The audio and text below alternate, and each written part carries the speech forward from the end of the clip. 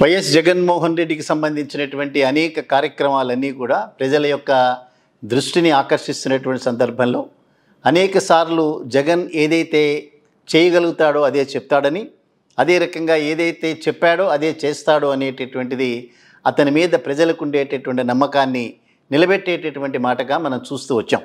అందుకనే పొరపాటును కూడా ఒక్క మాట కూడా మాట్లాడి దాన్ని నేను ఇంప్లిమెంట్ చేయలేకపోయినాను అనేటటువంటి మాట తెచ్చుకోవటం కంటే ఏదైతే నేను చేయగలుగుతానో అదే చెప్దామనేటటువంటి జగన్మోహన్ రెడ్డి గారి పాలసీ ఏదైతే ఉందో తప్పనిసరిగా దాన్ని అభినందించాల్సిందే.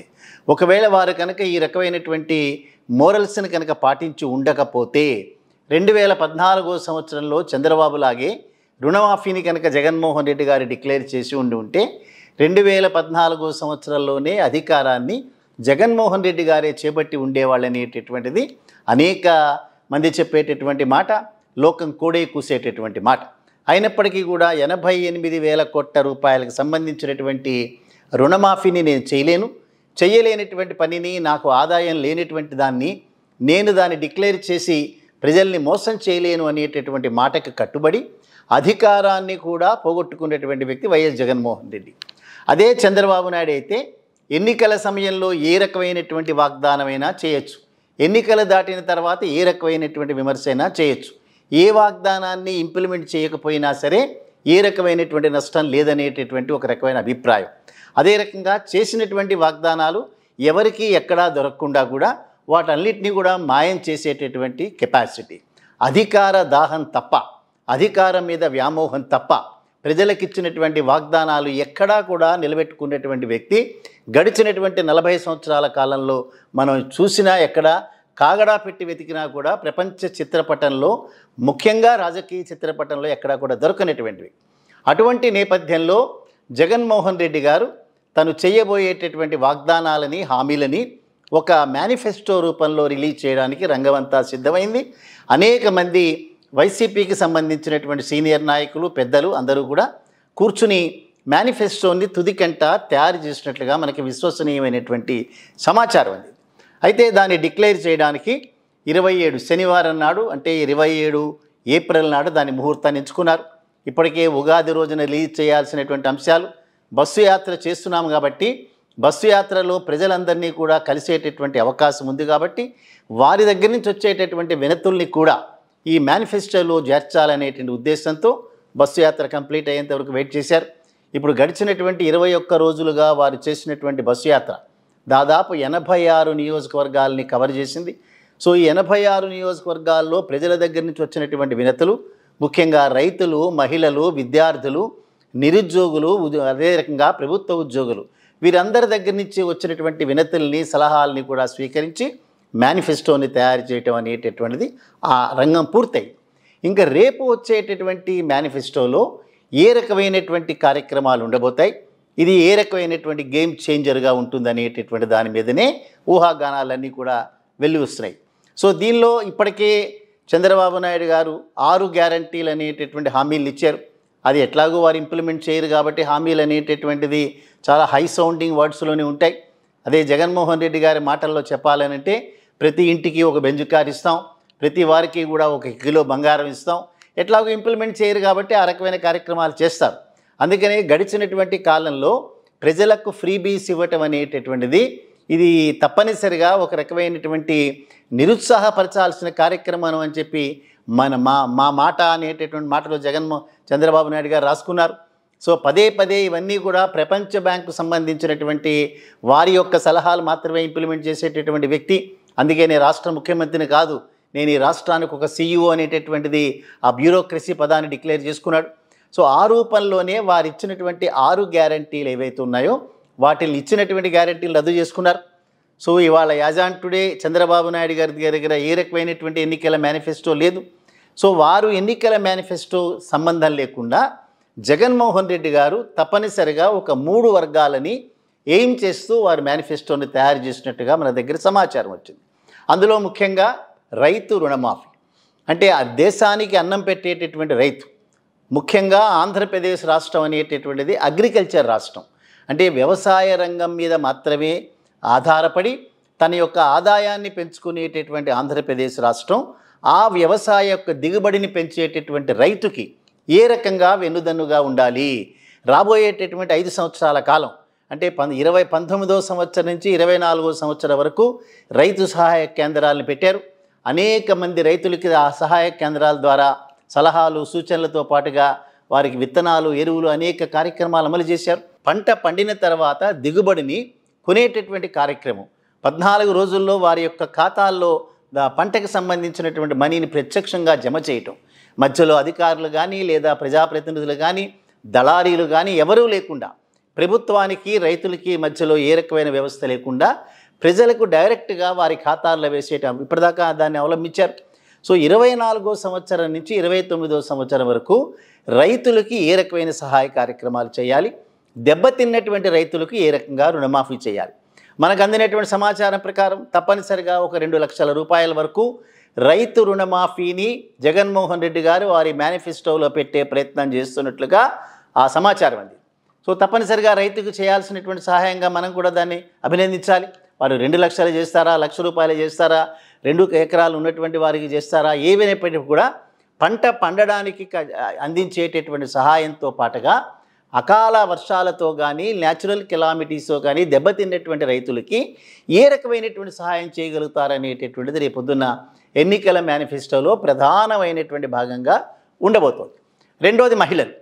మహిళలకు సంబంధించి ఇప్పటికే అమ్మఒడి కానీ లేదా విద్యా దీవెన కానీ లేదా మరొకటి కానీ ముప్పై మూడు నాన్ డీబీటీ పద్ధతి ద్వారా ముప్పై మూడు లక్షల మంది మహిళలకు ఇళ్ళ పట్టాలు ఇవ్వటం కానీ అదే రకంగా ఇల్లు కట్టించి ఇవ్వటం కానీ కార్యక్రమాలన్నీ చేశారు.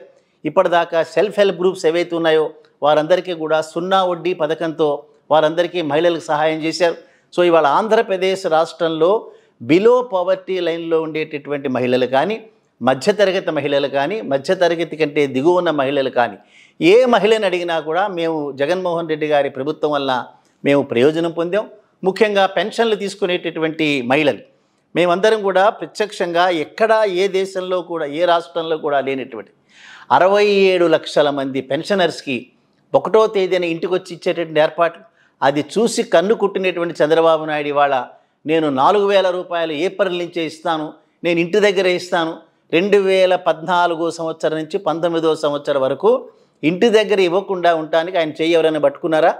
లేదా వారిచ్చేటటువంటి ఆరు వందల రూపాయలని జగన్మోహన్ రెడ్డి గారు రెండు వేలు డిక్లేర్ చేసిన తర్వాత మాత్రమే రెండు వేలు ఇచ్చారు. ఎవరైనా వారిని ఎవరైనా ఆపినారా? ఇవి అమలు చేయరనేటటువంటిది పెన్షనర్స్ కూడా తెలుసు. అందుకని మహిళలని ఉద్దేశించి చేసేటటువంటి కార్యక్రమం రేపు ఒక గేమ్ చేంజర్గా అవబోతోంది అందుకనే రేపు మేనిఫెస్టోలో మహిళలకు సంబంధించినటువంటి అంశాలు కూడా దానిలో ఇన్ ఇన్వాల్వ్ చేసేటటువంటి ఇండక్ట్ చేసేటటువంటి అవకాశం ఉంది. అదే రకంగా నిరుద్యోగులకు కానీ యువతకు కానీ. చంద్రబాబు నాయుడు చెప్పాడు ఏ యువతకైతే ఉద్యోగాలు రావో వాళ్ళందరికీ కూడా నిరుద్యోగ భృతి ఇస్తామని ఎప్పుడు కూడా ఇచ్చినటువంటి పాపాన్ని పోలేదు ఇవాళ ఏదో రకమైన అబద్ధాలు చెప్తున్నారు. సో వీరందరికీ కూడా ఏ కార్యక్రమం చేయబోతున్నాడు అనేటటువంటిది రేపు మెల్లికల మేనిఫెస్టోలో జరిగేటటువంటిది. సో ఏమైనప్పటికీ కూడా ఇరవై ఏడవ తేదీన జగన్మోహన్ రెడ్డి గారు ఇచ్చేటటువంటి ఒక పేజీ మేనిఫెస్టోలో నవరత్నాలు అనేటటువంటి దాన్ని ఇంకా కంటిన్యూ చేస్తూనే ఆ నవరత్నాల పథకంలో ఇంకా ఇంప్రూవ్ చేస్తూనే అదే రకంగా రైతులకి మహిళలకి విద్యార్థులకి నిరుద్యోగులకి నా ప్రభుత్వ ఉద్యోగస్తులకి అదే రకంగా అంగన్వాడీ వర్కర్స్కి ఎవరైతే ఎలక్ట్రిసిటీ ఛార్జెస్ రెండు వందల యూనిట్లు లోపల చేస్తున్నారో వాళ్ళకి సబ్సిడీ ఇచ్చే కార్యక్రమం ఇవన్నీ చేయబోతున్నట్టుగా మన దగ్గరికి సమాచారం వచ్చింది. చూద్దాం ఆ రకంగా ఏ రకమైనటువంటి ఎన్నికల మేనిఫెస్టో ప్రజలు ఎదురు చూస్తున్నటువంటి మేనిఫెస్టో. జగన్మోహన్ రెడ్డి గారు ఏం చెప్తే అది చేస్తాడు ఏం చేయగలుగుతాడో అదే చెప్తాడు అనేటటువంటి మాట మేనిఫెస్టోలో ఏముంటుంది అనేటటువంటిది ఆంధ్రప్రదేశ్ రాష్ట్రంలో ఉండేటువంటి తెలుగువారే కాకుండా ప్రపంచవ్యాప్తంగా ఉండేటటువంటి తెలుగువారందరూ కూడా ఎదురు చూసేటటువంటి మేనిఫెస్టో రేపు రాబోతుంది. రెండో విషయం కనుక మనం చూస్తే జగన్మోహన్ రెడ్డి గారు ఇరవై ఒక్క రోజుల బస్సు యాత్ర చాలా సక్సెస్ఫుల్గా కంప్లీట్ అవటమే కాకుండా పేరెన్నిక కలిగినటువంటి రెండు వందల ఇరవై ఒక్క మంది మాజీ ఎమ్మెల్యేలు మాజీ మంత్రులు అదే రకంగా ప్రస్తుతం ఉండేటటువంటి యాక్టివ్గా ఉండే సీనియర్ నాయకులు చేరారు. లక్షా ఇరవై వేల మంది కార్యకర్తలు జాయిన్ అయినారు. సో ఇప్పటికీ కూడా వస్తూనే ఉన్నారు అందరూ కూడా. మొన్ననే కడప జిల్లా కమలాపురంలో వీరశివారెడ్డి గారు జాయిన్ అయినారు. నిన్ననే మనకు అందిన సమాచారం ప్రకారం యనమల రామకృష్ణ గారి తమ్ముడు ఎవరైతే యనమల కృష్ణుడు ఉన్నాడో వారు వైసీపీలో జాయిన్ అవ్వడానికి సిద్ధంగా రెడీగా నిలబడున్నారు అనేక మంది పేరెన్నిక కలిగినటువంటి నాయకులు అయితే జనసేన పార్టీ అయితే ఖాళీ అయిపోయింది. పవన్ కళ్యాణ్ గారి మాటల్లో చెప్పారు ఎవరికైతే నేను టిక్కెట్లు ఇవ్వలేదో నేను టెస్ట్ చేశాను వాళ్ళ మన దగ్గర ఉంటారా ఉండరా అని వాళ్ళందరూ వైసీపీలో జాయిన్ అయిపోయినా అన్నారు. ఏ పార్టీ అయితే అధికారంలోకి రాబోతుందో ఆ పార్టీలోనే ఎక్కువ చేరికలు ఉంటాయనేటివి ఇవన్నీ కూడా కన్ఫర్మ్ అయింది. ఈ నేపథ్యంలో రేపటి నుంచి అంటే వారు ఎన్నికల మేనిఫెస్టో డిక్లేర్ చేసిన తర్వాత ఆదివారం నుంచి కూడా ప్రతి నియోజకవర్గంలో కూడా మూడు సభలు ఉండేటట్టు అంటే ప్రతిరోజు కూడా మూడు సభలు ఉండేటట్టు మూడు నియోజకవర్గాలు కవర్ చేసేటట్టు. అంటే ఇప్పటికే ఎనభై ఆరు నియోజకవర్గాల్లో అడ్రస్లు అయిపోయినాయి. ఇక మిగిలినటువంటి ఎనభై తొమ్మిది నియోజకవర్గాల్లో కూడా రోజుకు మూడు సమావేశాలు ఉండేటట్టుగా తాడిపత్రి నుంచి మొదలుపెట్టేటటువంటి బహిరంగ సభలు ఏవైతే ఉన్నాయో మేమంతా సిద్ధం అనేటటువంటి దాంతో మొదలుపెట్టినటువంటి కార్యక్రమాలు తప్పనిసరిగా రేపు ప్రజల్లోకి మరింత మమేకమవటమే కాకుండా ఏదైతే బస్సు యాత్ర అమోఘమైనటువంటి అనిర్వచనీయమైనటువంటి రిజల్ట్స్ ఏవైతే వచ్చినాయో అనితర సాధ్యమైనటువంటి రీతిలో జగన్మోహన్ రెడ్డి గారు తను ఏం చేశాడో అదే చెప్పటం. పరుల మీద ఏ రకమైనటువంటి పరుషమైనటువంటి వాక్య వ్యాఖ్యలు ఏవి చేయకపోవటం నిందారోపణలు చేయకపోవటం జరుగుతున్నటువంటి వాస్తవాల్ని మంచి లాంగ్వేజ్లో ఎక్కడా కూడా పొరపాటు మాట్లాడకుండా చేసినటువంటి ఒక హుందా రీతిలో చేసిన ప్రచారం ఏదైతే ఉందో తప్పనిసరిగా అందరం కూడా అప్రిషియేట్ చేయాల్సినటువంటి ఆ- కార్యక్రమం. సో ఈ సందర్భంలో జగన్మోహన్ రెడ్డి గారు మొత్తం రాష్ట్ర వ్యాప్తంగా ప్రచార బాధ్యతలన్నీ కూడా వారి భుజాల మీద వేసుకున్నప్పుడు ఎవ్రీ టైం జరిగేటటువంటి రీతిలోనే వారి సతీమణి వైఎస్ భారతి గారికి పులివెందలలో క్యాన్వాస్ చేసేటటువంటి ఆ ప్రచార బాధ్యతలన్నీ కూడా వారి మీద అప్పగించారు. ఇప్పటికే పులివెందలలో అంతకుముందు సతీష్ రెడ్డి అనేటటువంటి వ్యక్తి రాజశేఖర రెడ్డి గారి మీద కంటెస్ట్ చేసినాడు. తర్వాత జగన్మోహన్ రెడ్డి గారి మీద లాస్ట్ టైం కంటెస్ట్ చేశారు. తర్వాత రియలైజ్ అయినటువంటి వ్యక్తి నేను ఈ ప్రపంచంలో ఒక మంచి కుటుంబాన్ని మిస్ అయి ఉండేవాడిని. నేను కనుక జగన్మోహన్ రెడ్డి గారితో కనుక జాయిన్ కాకపోతే ఒక మంచి కుటుంబాన్ని చూస్తున్నాను ఇప్పుడు. మర్యాదపూర్వకమైనటువంటి మాటలు చాలా ఎఫెక్షనేట్గా ఉండేటటువంటి కుటుంబం. ఇంతకాలం నేను దూరంగా ఉంటాం అనేటటువంటిది చాలా తప్పు చేశానని పశ్చాత్తాపడ్డారు. సతీష్ రెడ్డి గారు కూడా కలిసిన తర్వాత వారికి సంబంధించిన ఏదైతే లక్షా పదిహేను వేల ఓట్ల మెజారిటీ రెండు వేల పంతొమ్మిదిలో వచ్చిందో అది లక్షా యాభై వేల మేరకు చేరేటటువంటి అవకాశాలు ఉన్నాయి ఏవైనప్పటికీ వైఎస్ భారతి గారికి ప్రచార బాధ్యతలు అప్పగించటం అనేటటువంటిది ఆహ్వానించాల్సిన పరిణామం. చూద్దాం రాష్ట్రం మొత్తంలోనే రెండు వేల పంతొమ్మిదిలో పులివెందలు అనేటటువంటిది ఆ పేరు వినంగానే మనకి జ్ఞాపకం వచ్చేటటువంటి కుటుంబాలు వైఎస్ జగన్మోహన్ రెడ్డి వైఎస్ రాజశేఖర రెడ్డి కుటుంబాలు. సో రేపు రాబోయేటటువంటి రోజుల్లో ఎంత మేరకు వైఎస్ భారతి గారు వారి ప్రచార బాధ్యతని మొన్నటి వరకు కూడా మేము ఇవి చేయగలుగుతామో ఇవి చేసి చూపుతామని మాటలు మాట్లాడినారు. ఇవాళ మేము చేసి చూపించామనేటటువంటి మాటలు మాట్లాడతారు. జగన్మోహన్ రెడ్డి గారి మా మాటల్లో చెప్పాలి అని అంటే ఏముంది పులివెందల్లో అనే దాని మీద ఏమీ లేదు పులివెందల్లో ఇప్పుడు ఏం తక్కువైంది అనేటటువంటి రీతికి వచ్చారు. ఇవన్నీ కూడా తప్పనిసరిగా వైఎస్ భారతి గారు వారి యొక్క బంధుగణం అందరూ కూడా చేసేటటువంటి క్యాన్వాసింగ్ అనేటటువంటిది సత్ఫలితాలను ఇస్తుందంటలో ఎక్కడా కూడా ఆశ్చర్యం లేదు.